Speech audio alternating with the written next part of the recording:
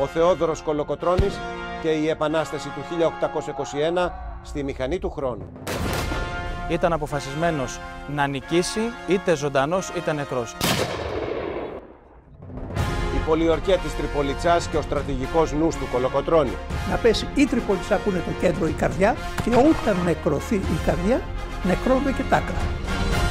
Ο θάνατος του πρωτότοπου γιου του Θεόδωρου Κολοκοτρώνη που οδήγησε το γέρο του Μοριά στην κατάθλιψη. Ήταν τόσο συγκεντρημένος ώστε δεν πήγε ούτε στον παθιασμό του. Μηχανή του χρόνου. Θεόδωρος Κολοκοτρώνης. Οι Μεγάλες Μάχες. Νέο επεισόδιο. Πρεμιέρα Μεγάλη Δευτέρα στις 9 το βράδυ. Μια παραγωγή της Κοσμοτέ TV στο Κοσμοτέ History.